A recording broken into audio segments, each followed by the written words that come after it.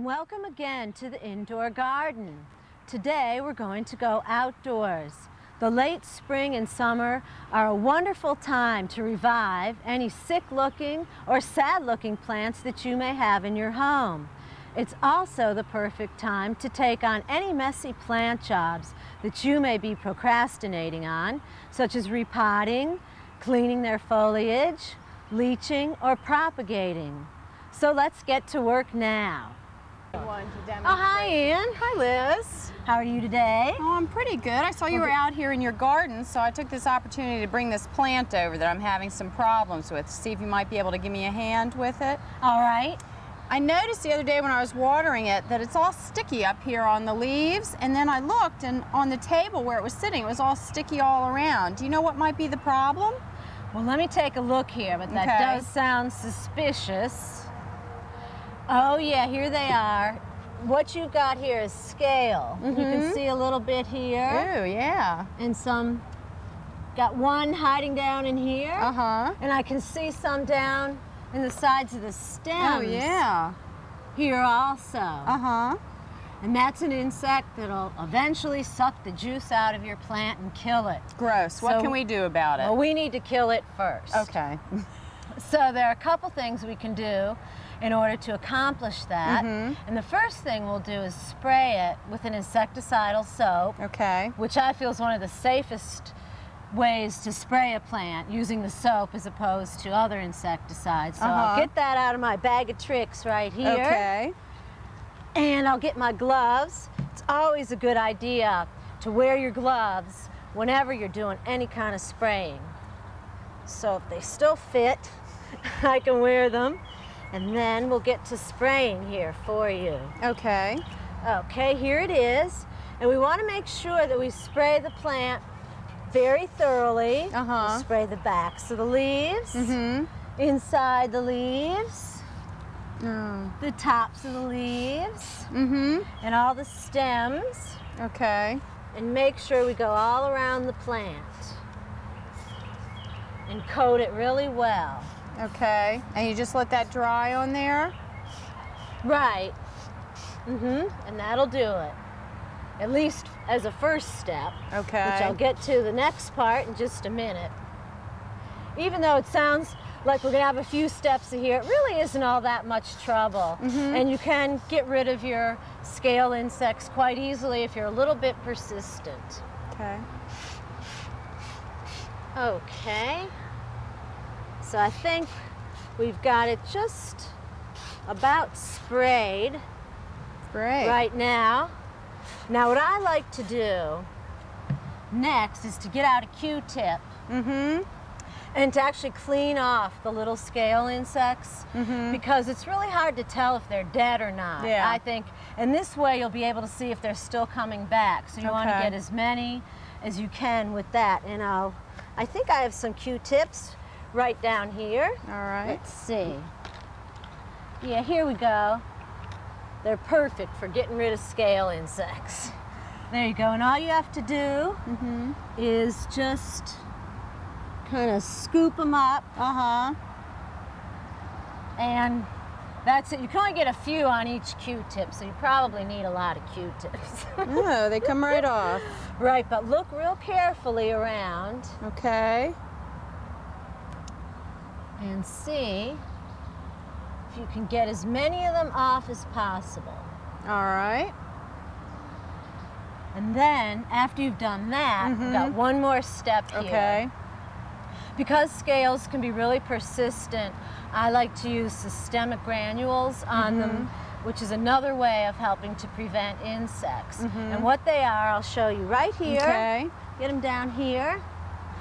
Are they're actually a uh, insecticide that works through the soil, Mhm. and the plant actually sucks up Hmm. the uh, the poison from the systemic granules through its system so that when the scales suck on the plant they get poisoned. Wow. So this is just an extra added uh, thing to do here and for this we use two tablespoons, actually it's two teaspoons in a six inch pot, Uh-huh. and you mix it up around the top of your soil. Mm-hmm. And you want to make sure that you don't use this teaspoon again for anything other than insecticides. So we'll set that aside only for insecticides. Okay. And then when you get home, what I want you to do is to just really soak the plant really well so that the uh, granules will start working right away. Okay. And that should do it. One thing though, I want to tell you, if you have children or pets that'll get into your plants, don't use the systemic granules. There's no sense in taking the risk then. Just go ahead and use the soap and wipe the scales off as you can. And if you're persistent, that'll work just as well.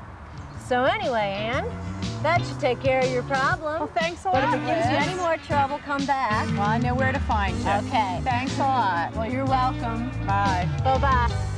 The first thing you want to do is to collect all the plants that you want to keep outside for the summer. And once you get them outside, there are two things you can do for them immediately that'll make them very happy.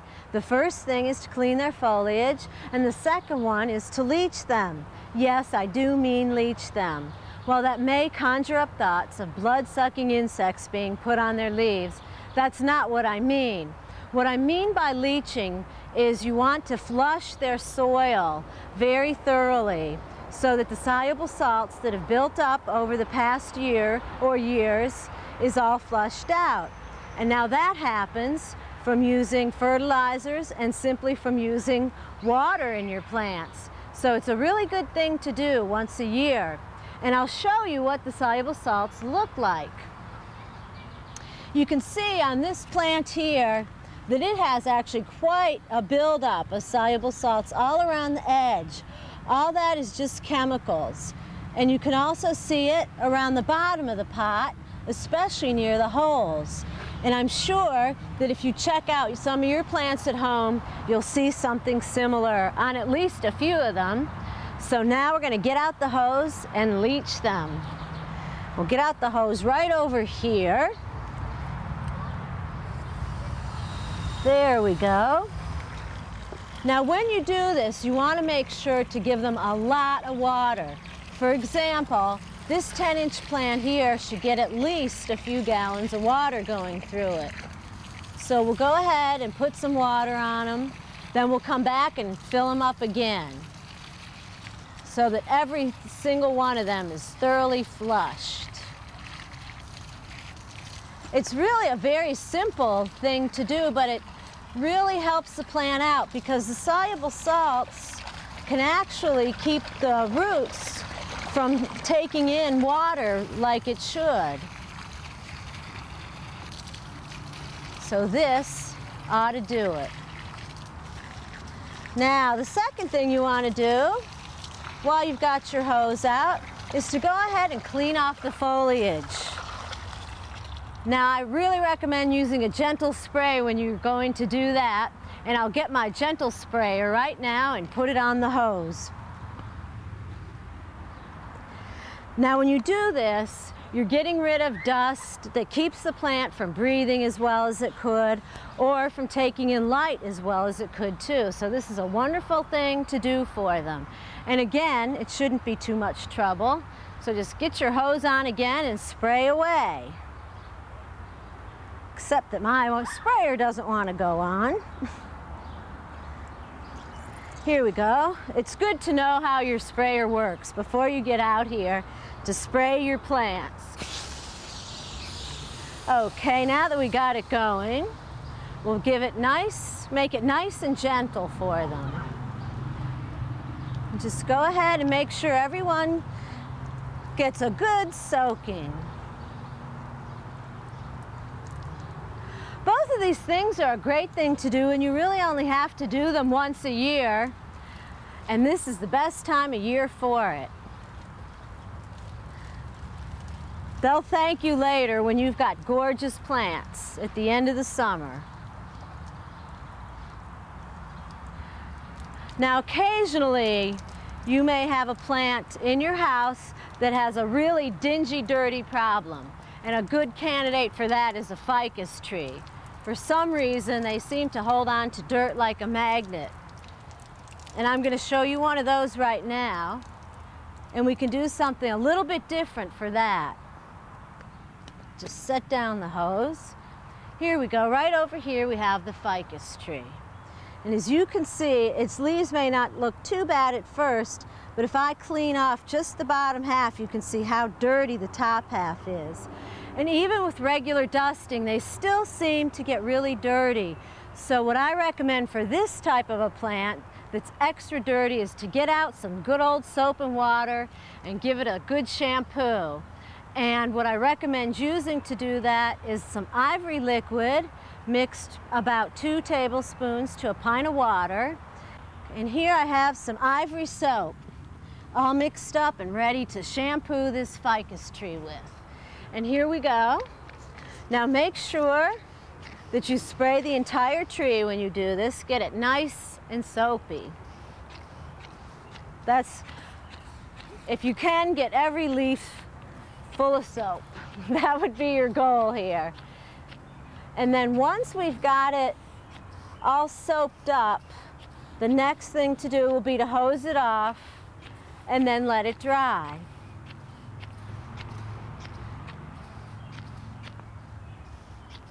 And again, if you have a really dirty plant like this, you only have to do this once a year.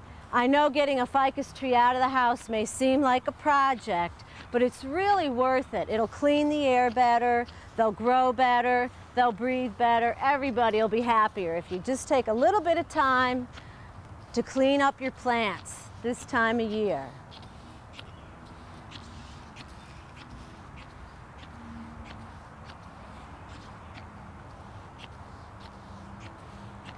Okay, I think that should just about do it for this one. And now we'll hose it off, and that should just about do it.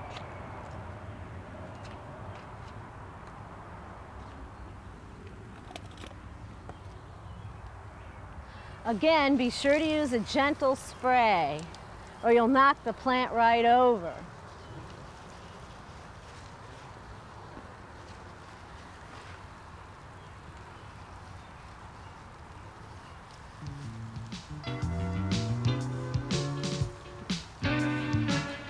That's really all there is to it.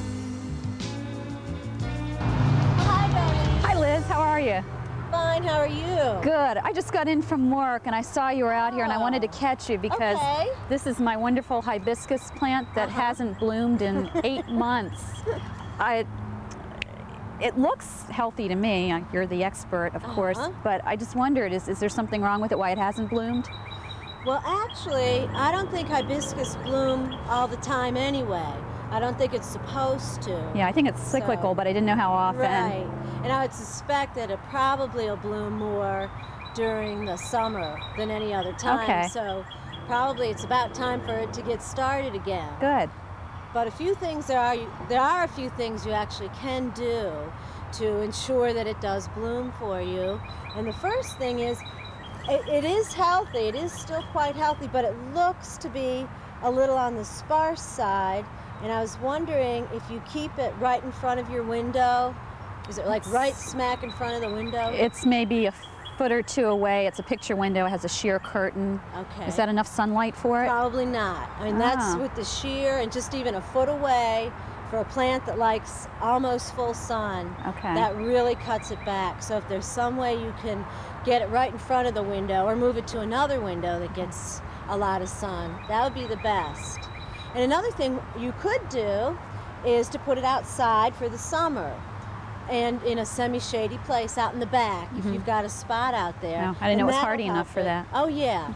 Just just sit outside. In fact, that's what we're doing all day out here is getting the plants ready to be outdoors for the summer. And this one, if you put it in a semi-shady place, I think you'll find that it'll start taking off. In fact, I have a hibiscus here that I took out of a fairly low light situation just a few weeks ago and I want to show you what it looks like. See, it's oh right Oh, my here. So goodness. it's, it's really, it's just taken off and it's it's getting ready to bloom. I see what you mean about It sparse. had no buds on it, right? Okay. And yours can look like this too. This Okay. only took I would say less than a month before it really, you know, filled out and it is getting ready to bloom. So, you do want to fertilize it. I do think that's a good idea, especially during the summer months. And use a uh, just a really good fertilizer, maybe something for blooming plants. There are several out there specifically for blooming plants, and do that, and it should be fine. Great. But I'm also noticing one other thing. I see that on the undersides of your leaves, Oh, what are those? it looks to me like scale. And they're little, again, oval shaped. These are sort of a whitish color, just sticking right onto the bottom of those leaves there. And I think they're going to give you some trouble if we don't Ah. treat them pretty soon. So what do you do for but that? I do see them. Yeah, we got some more over here. There's a few under here, and plenty of them under here. Hmm. I definitely think we should treat them. You want to do that? Please. What do I've you do got some spray here. What I like to do is use an insecticidal insecticidal soap, which is one of the safest ways, you know, to take care of any of your insect problems. And I believe I have some right down here. Great. Thank you. So I'll go get it. And also get my gloves at the same time. Would it eventually kill the plant? Yes, eventually. It'll take a while, but it'll start looking really bad and then it'll die if you don't treat it. So, I'll spray it for you today. Thanks so much. Okay, now we'll start again with the undersides of the leaves. I don't know, scales must be being a prevalent problem right now. Ann just came over, you know, our neighbor Ann, with uh, scales on her Dieffenbachia. So Oh. today's the day to get rid of scale. Gee, definitely going around, huh? Uh huh. Okay, we want to be very thorough and make sure the stems also get a good soak. And then the tops of the leaves.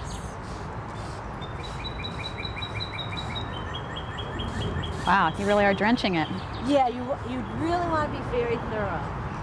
Otherwise, they'll escape. I don't know how they do it, but they do. So we want to be very thorough. Do they just show up a certain time of year? Uh, they do seem to more in the spring and the summer when it's nice and warm out, but not necessarily. And then you may want to take some paper towel like this and just go ahead and wipe some of the undersides of the leaves so you can tell whether or not you're getting any control over your insects. And they should be gone now. Right, and then just keep checking them, you know, now and then. And you probably want to spray this again in another couple weeks, and probably even another time after that. Hmm. But, Well, I had no idea. Thank you so much. well, you're welcome, and that should just about do it. If you have any more trouble with it, be sure and come back and ask me. But I think if you put it outside, it will start blooming very shortly. Okay. Okay? Well, gee. Thanks so much. You're welcome. So long. Bye, darling. I'm now going to repot this Aralia balfouriana. It's now in a 10-inch pot, and I'm going to put it into a 13-inch pot, which should give it some room to move. Now, a lot of people I've noticed really want to go out and repot their plants, but the best way to tell if your plant needs to be repotted, and this is what I've found, is to poke your finger down in the soil, and if you can barely move it through, as is the case in this Aralia balfouriana, then go ahead and repot it. Now the first thing you want to do with these big plants is to tap the side of the pot. You can use the scissors like this, and that should get the plant able to come right out of the pot. Now we'll see here. This is always a delicate process with these big plants. Yes, it's coming out nice and slowly. And as you can see, it's come out as one big root ball. So now I'm going to put it into this 13 inch pot. And what you do is first, you need to add potting soil. And then when you get that in, pat it down nice and firmly. That's important so that the water runs through evenly when you water it. Now I can tell this still needs more potting soil. So I'm going to add some more and again pat it down very firmly. Now take your plant and set it in the pot and you want to make sure there's at least an inch or two from the top of the pot from the top of the soil line so that when you put on water you can put on plenty enough water for it to go through. And in this case it is. And I'm going to take off a little bit of its excess topsoil here. And now we're ready to fill in the sides. So get my potting soil again. And I see my plant wants to fall over, but once it's repotted, it should be a little more stable. Then I'll straighten it up and smooth it out. And again, let me see if I can show you this here. You want to pat the soil down, especially around the sides, very firmly.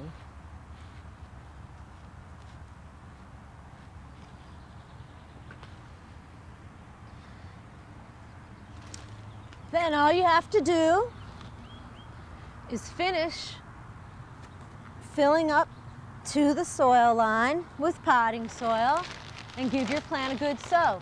It's really that simple.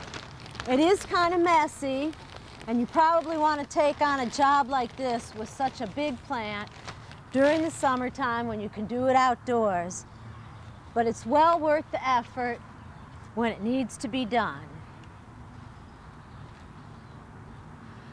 So that's about it. And I know at the end of the summer, I'm gonna leave this out because it has been a little bit on the thin side. But by the end of the summer, it'll be beautiful and full. You'll probably hardly even recognize it. Don't forget to water now.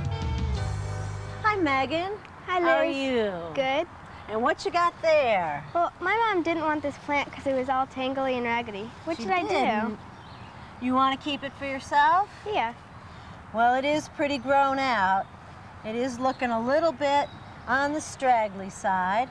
We know what I would do if I were you is we'll make cuttings out of this Mhm. and then they'll grow out and when they've got some roots on them you can start a whole new plant for yourself and it can grow big and beautiful. Okay. You want to try that? Yeah. Okay, well I think I've got some a little jar down here and some water so we can get started. Okay. So we'll fill up this jar with water.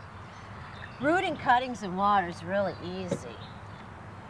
And then you just snip some of it back and stick it in the jar.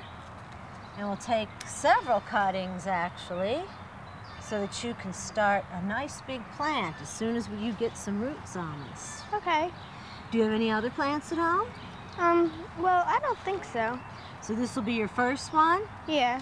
Well, this is a nephthytis, is what it's called, and it's a real hardy plant, and it's a really good one to start out with. Okay. So I think you'll like it. We'll finish making some cuttings for you, and that'll do it. Okay. So, do you want to come back when they're all grown out, and I'll pot them up for you? Yep. Okay, great. There you Okay. go. Thank you. Uh-huh. Today we've seen a few things you can do to keep your plants happy outside for the summer and some things to do that you might not want to do unless it was summertime. There are a couple other things though I'd like to note for you. And one of those are to be sure to keep your plants in the shade when you put them outside. If you put them in the sun, they'll burn up. Even though they may enjoy a sunny window in the house, they won't enjoy a sunny spot outside. So please keep them in the shade. And another great thing to do, it's always a great thing to do, but especially in the summer, is to fertilize your plants regularly. This is their growing season and they'll grow the best if you fertilize them regularly. And I also have some letters that I've gotten here that I'd like to read to you that I've gotten from some viewers. Now the first one here says, Dear Liz, I saw you on ACT the other day. You said, I don't need to prune my philodendron very often. But how often is not very often. Signed, Sarah Colbert. Well, Sarah, the best way to tell is whenever it starts getting a little leggy looking, then that's the time to prune it. And I would say if you wanted to know a time, generally between 6 to 12 weeks, depending on how much light it's in and how fast it's growing. So I hope that helps you out. And I've got another letter here. Let's see. And it says, Dear Liz, why are the leaves on my Ming aralia turning brown and falling off? It was a gift and I'd like to save it. And this is signed Stuart Redman. Well, Stuart, there's two things I'd ask you to check. The first thing is your light. Ming aralias really like to be in good, bright light, preferably some direct sun. So check that. If you don't have it in a very bright place, you may want to move it. And the other thing is they like to stay a little on the moist side. They should dry out on top, but that's about it. And if you're letting it get too dry, that'll certainly make the leaves crumble up and turn brown. So check both of those and see if that works.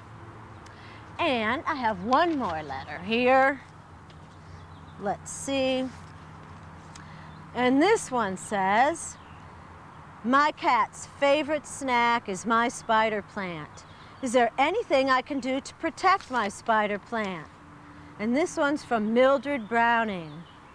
Well, Mildred, the first thing you could try is to hang it out of their reach. Now, if you can't do that, you can always try putting several drops of Tabasco sauce in a pint a pint sprayer of water and spray your plant with it, and that should deter them. So there you go.